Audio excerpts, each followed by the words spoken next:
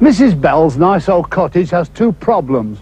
The first is pretty windows that are drafty. Everest asked if they could help. In just one working day, Everest craftsmen fitted secondary windows inside all the original windows. No mess, no fuss, and no drafts. The second problem is some very noisy neighbours. Face him over, Jim! Now listen carefully. That's Everest soundproofing for you. You only fit double glazing once, so fit the best. Ooh, Everest.